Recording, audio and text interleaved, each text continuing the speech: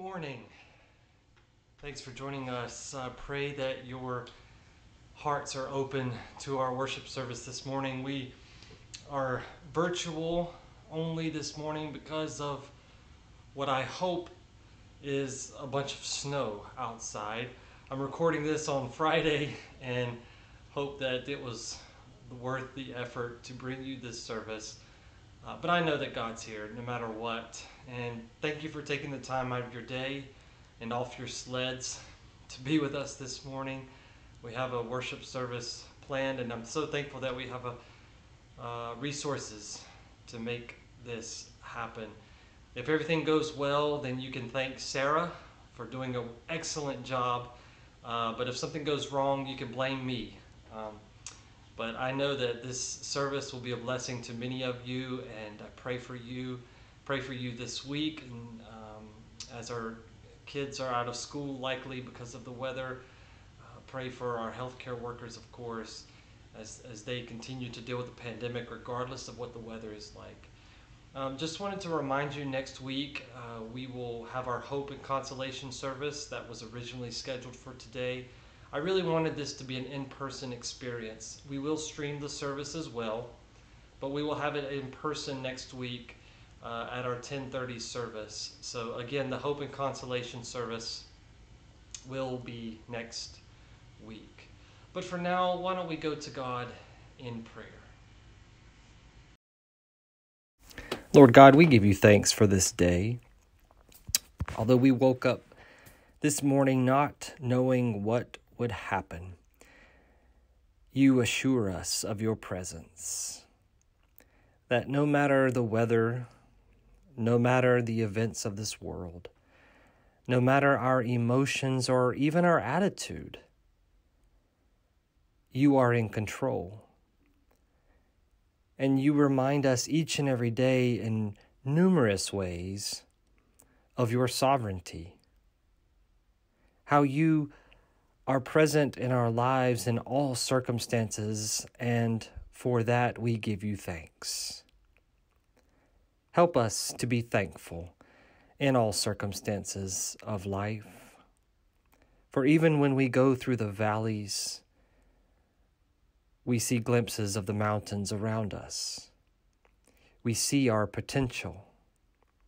We see your light in this Epiphany season that guides us to the peaks so that we might be close to you. We pray, Lord God, that you will bless our congregation. Bless those who are not able to worship this morning. Bless those who chose not to worship this morning, perhaps enjoying the outside. Lord God, I pray your blessing upon us all that we might worship you with our whole heart, that we might praise your name in word and song. Thank you, Lord God, for our brothers and sisters who are serving in a sacrificial way this morning, especially those who are working, our healthcare workers, our military personnel, first responders all those who had to go to work on this difficult morning for travel. We pray, Lord God, that you will bless their hearts, give peace to their souls. For those who are enduring loss and are looking for comfort, we pray that your word might be opened but also that their hearts be opened to your leading. We pray, Lord God, that you will continue to equip us in this year ahead. That we be your servants and your disciples and spread that good news as much as we can so that others can have hope. Hope that a new day will come. The bright dawn of our salvation is upon us. Thanks be to Jesus. Amen.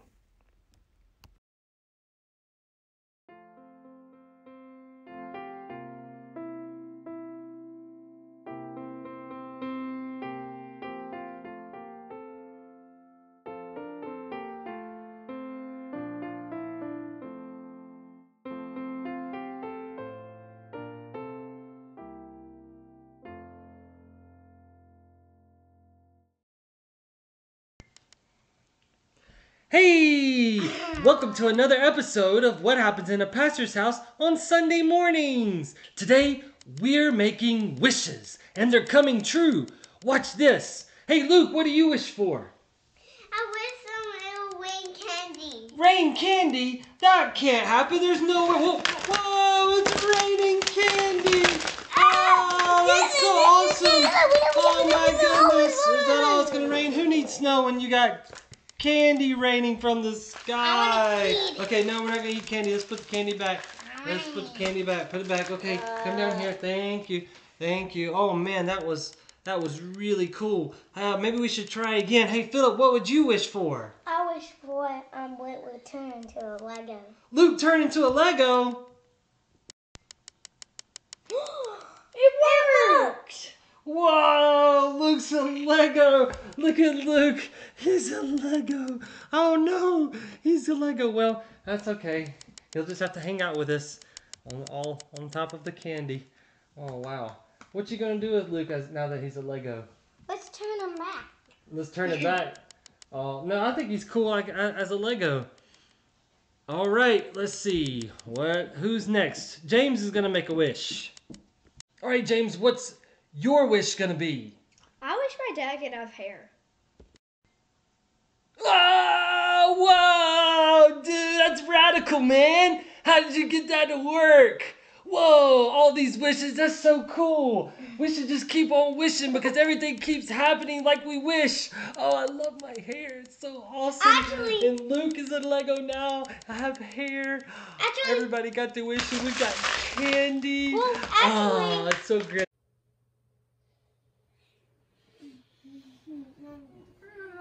Wow, it's already morning. Ah. Oh, guys, I gotta tell you about this crazy dream I just had. I dreamed that we all made wishes and it came true. Like, Luke dreamed that it would rain candy, and it did. Like, candy fell from the sky. Philip dreamed that Luke turned into a Lego, and he did. Yeah, right there on the counter, he's still on the counter. And James dreamed that I had hair, and then hair just appeared on my head. Not just hair, but long hair, flowing locks. It was great mm-hmm. to have all that hair. Oh man, that was a crazy dream. But it- you know, we know that's just a dream, right? Mm-hmm. Yeah, because we don't get everything that we wish for in life. James, why do you think that we don't get everything we wish for in life? because um God doesn't send everything. If mm-hmm. he's if he does, the world would just be crazy. Yeah, the world would be crazy if God if God granted all of our wishes like that. That would be crazy, especially if Luke was like a little Lego. And if it rained candy, we would eat tons and tons of candy. What happens when we eat tons and tons of candy? We get Um, belly. eight. Yeah, we get a bellyache. That's right. So God knows what's best. God is the only one who knows what's best, and God takes care of us because God knows what's best. So He's not going to give us everything we ask for because God has a great plan in store for us. And sometimes candy raining from the sky is not part of that good plan. Luke, in the form of a Lego, not part of that good plan. Daddy with a lot of hair, not part of that good plan, right? So just want to let you guys know that. So let's uh how about we start off today with a prayer. Dear God, thank you for such a good sleep that we had and a crazy dream. Thank you for fun times and and times where we can smile and laugh. And we pray your blessings on us and to take care of us always. In Jesus' name, amen. All right, let's go get breakfast. Yay!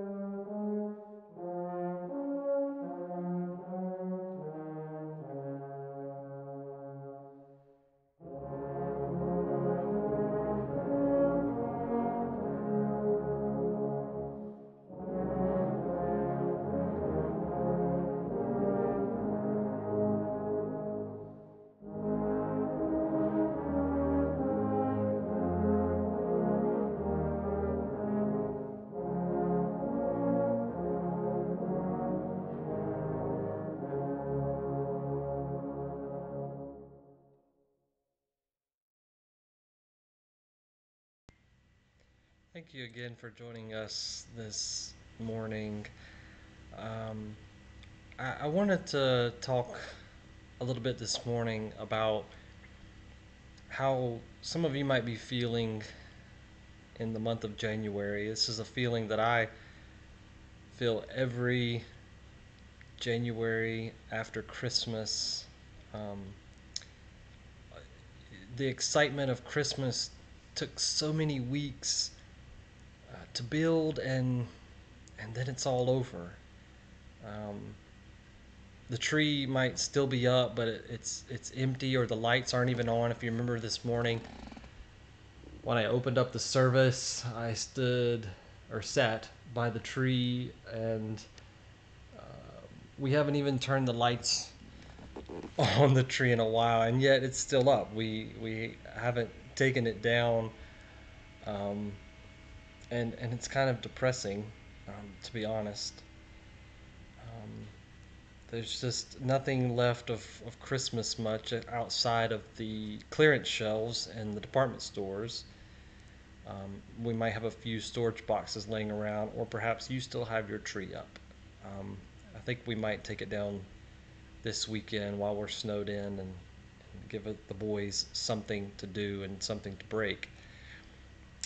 But it's it's a feeling um, that many of us have in January. Psychologists um, have actually named it. It's they've called it the post-Christmas blues. Um, and it and it is a result from all of the effort that we put into one day the, the hoopla of Christmas with all of the church services and family visiting and food preparing and the parties and grandma and the list goes on and, and, and when all of that is done um, a sort of depression natural depression sinks in into our hearts and we have to go back to the real world we have to go back to everyday life and, and work and, and school.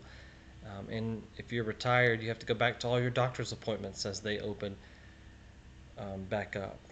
But as I thought about this post Christmas blues, it reminded me of the Christmas story.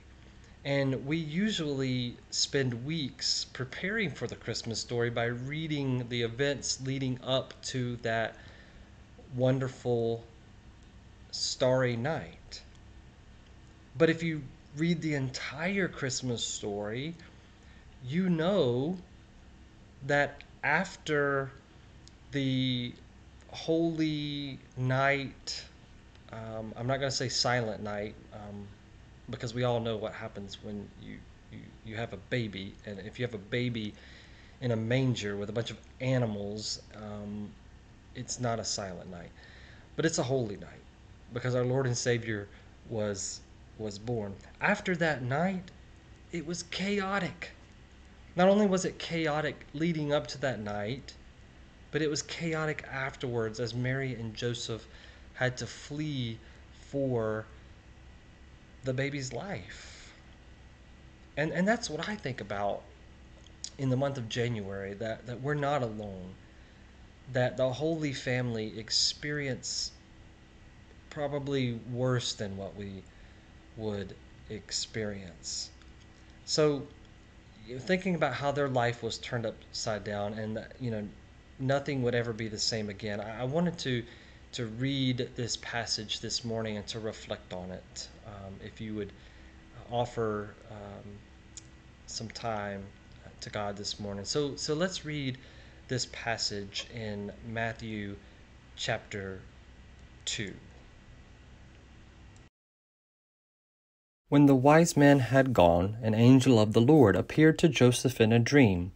Get up, he said, take the child and his mother and escape to Egypt. Stay there until I tell you, for Herod is going to search for the child to kill him. So he got up, took the child and his mother during the night, and left for Egypt, where he stayed until the death of Herod.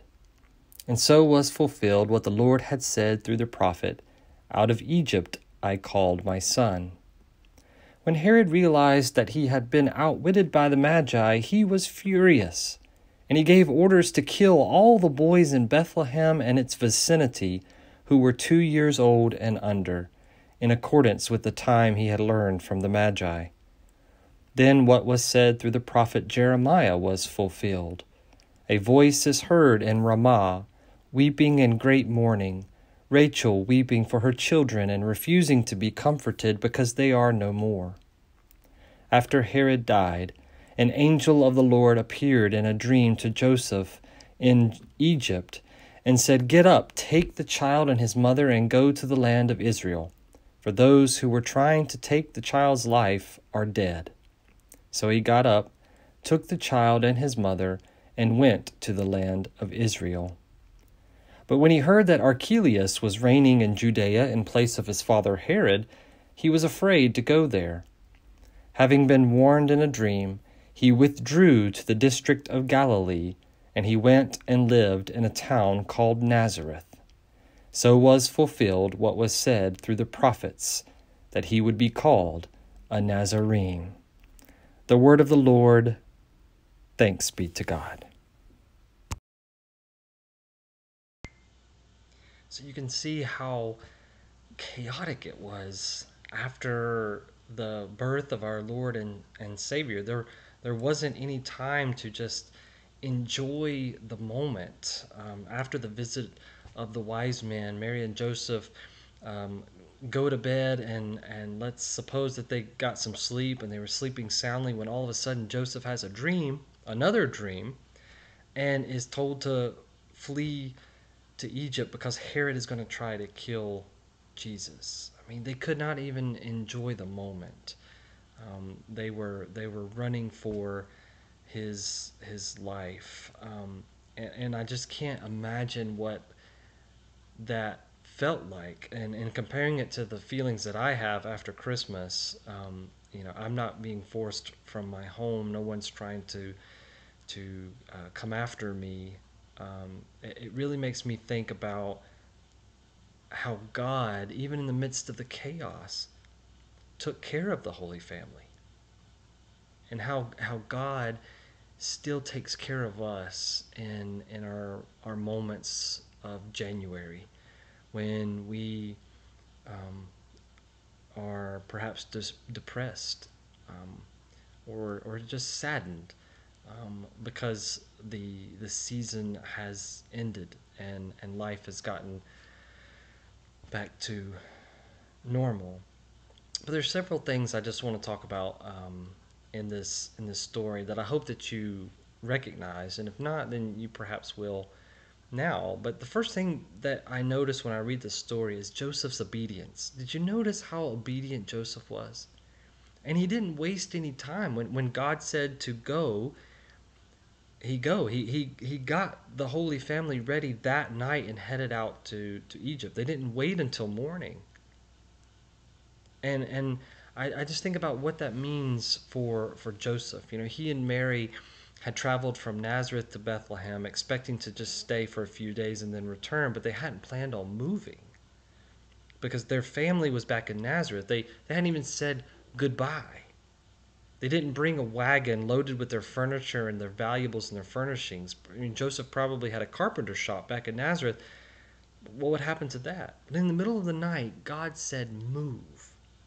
And Joseph didn't argue with God. He didn't say, Hey, God, you got a plan B. He didn't wait to try to figure it all out. He just obeyed. And I think that's why God chose Joseph to be the stepfather of Jesus. God knew his heart. He knew, as it said in verse 19, that he was a righteous man, and, and Joseph was sensitive to God's will.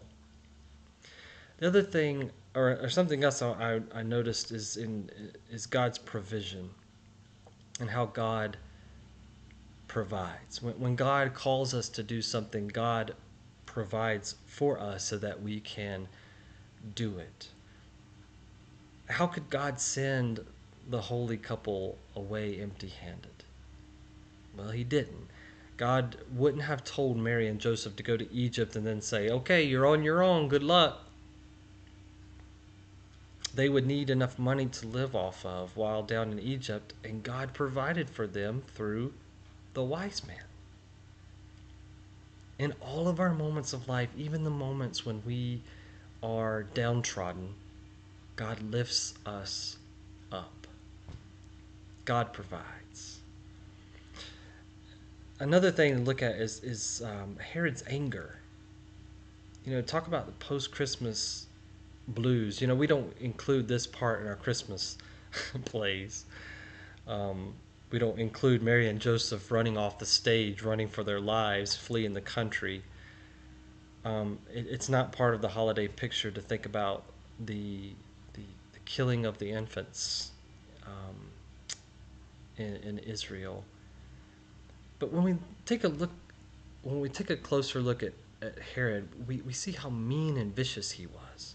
You know, history has a lot to say about him. Um, Caesar Augustus was quoted as saying that it would be better to be King Herod's pig than his son. Pigs were protected by law. Herod's family wasn't. King Herod had already killed two of his own sons, and he, he had them strangled. He also killed one of his ten wives, his favorite wife, because he thought that she had been unfaithful to him because he thought she had been unfaithful to him, when in reality she wasn't. He killed his 18 year old brother in law because the Jews liked him better than they liked Herod. He also killed his own uncle and his mother in law. What's a few babies in Bethlehem to King Herod? King Herod was a terrible person.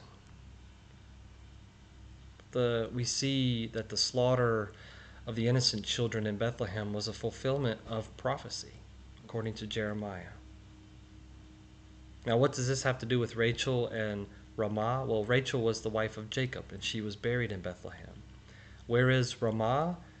Bethlehem was about five miles south of Jerusalem, and Ramah was about five miles north of Jerusalem.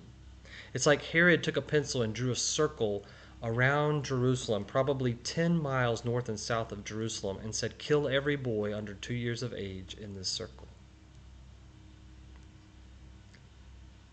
But the point is that even though Herod was such a terrible person, even though Herod was the, the ultimate antagonist in this story, he didn't win. God would eventually win thanks to an intervention in a dream, God would win. Thanks to the obedience of Joseph, God would win.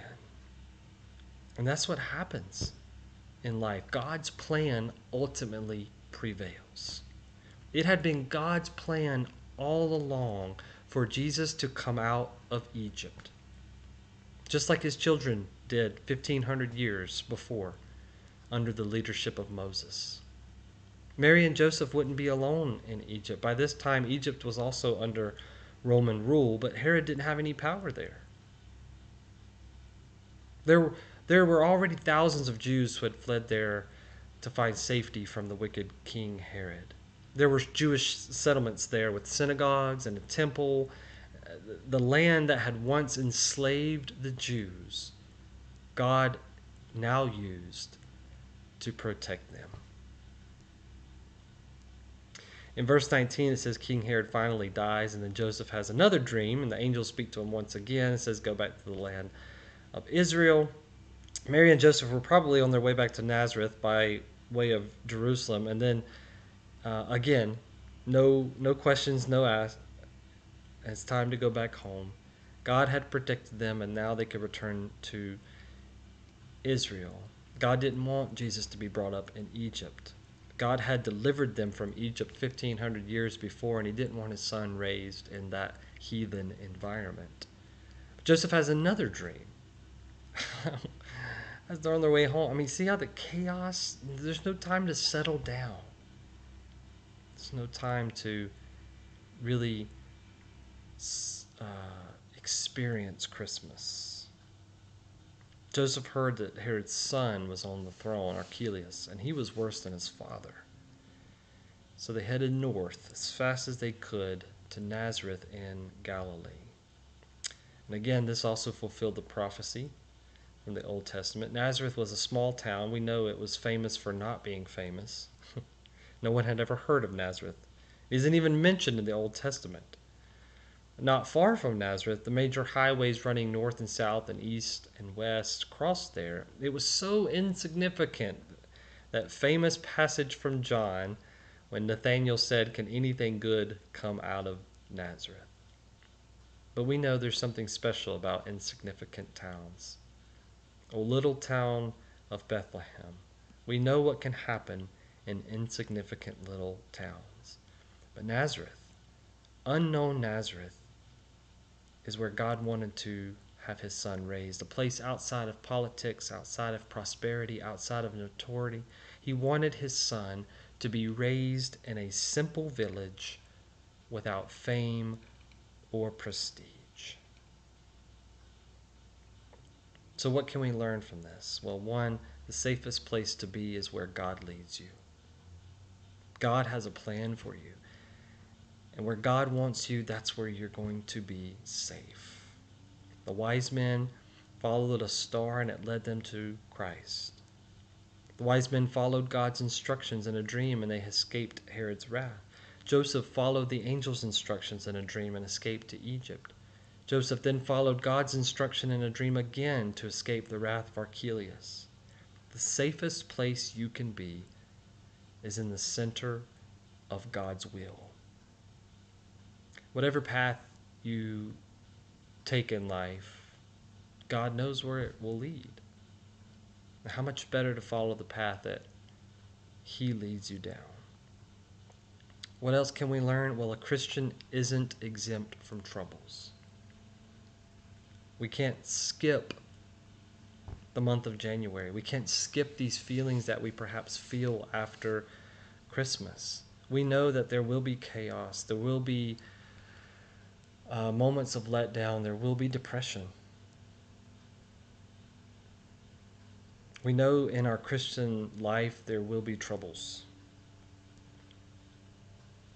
But we're still called in every circumstance to give thanks and praise to God.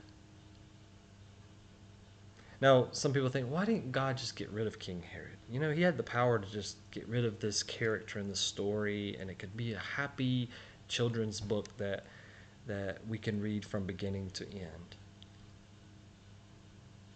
Well, God eventually takes care of Herod. He eventually died like the dog he was. Um, Archelaus also died um, in exile, a terrible death. The point is, God will win out in the end. But in the meantime, He gives us strength to go on and to win every battle that we face. If we just follow that path that He sets before us, God is in charge. God is in charge. You can always feel safe when you are living in God's will.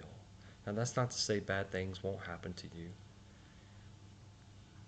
But God is in charge. Everything that happened in the Christmas story was planned out by God. And you can see it. You can see His hand in the story every step of the way. Joseph and Mary experienced the ultimate post Christmas blues. They didn't have their baby in Bethlehem and then live happily ever after. Their dreams of going back to Nazareth to live a quiet and peaceable life were postponed for a few years. Their life was nothing like they had planned or expected after the baby was born. So maybe um, this third Sunday in January, you're still dealing with some post Christmas blues for, of yourself. Maybe Christmas wasn't what you expected. Maybe you didn't get that favorite toy. Or maybe you perhaps didn't get to spend time with a loved one like you normally do because of travel plans or because of the, the coronavirus.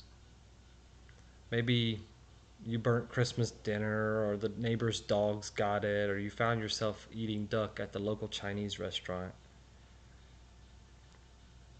Or simply now that Christmas is over, all the excitement has passed and it just feels like your balloon has been popped. Well, I know it doesn't help too much, but I have to say it. Reading the entire Christmas story as presented in Matthew, it could always be worse. When you feel those blues creeping in in the month of January, threatening to damper this, this New Year spirit, this hope that we have for a good year, I invite you to just pick up the book, the good book, and read the entire Christmas story. And as you read it, look at how God remained present all throughout it. No matter what happened, God was in charge. God knew what was best for the Holy Family, and because of the obedience of Joseph and Mary, they experienced the ultimate blessing. They went where God wanted them to go, and, and Jesus grew up and, and did wonderful things, and the ultimate sacrifice in providing salvation for all. God was with them all the way. Because nothing, nothing can stop our God from ruling our lives, taking care of us, and loving us so unconditionally like He does. Nothing can stop Him from being in charge. So I pray, brothers and sisters, that you can cheer up. Cheer up, lift your spirits, keep your heads high. Because not only will Christmas 2022 be here before you know it, but I can promise you God is going to take charge. He is going to take care of you the entire year of 2022. And He's going to lead you all the way if you'll let Him. And there's nothing blue about that. Let's sing our closing hymn. Música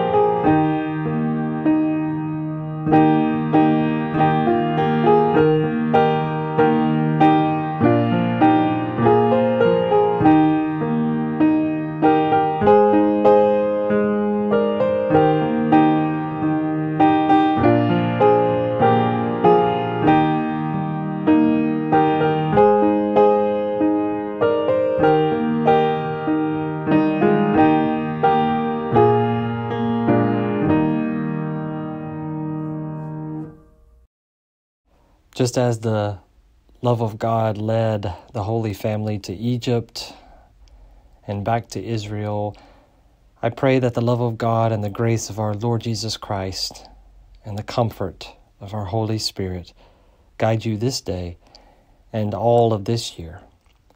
In Jesus' name, Amen.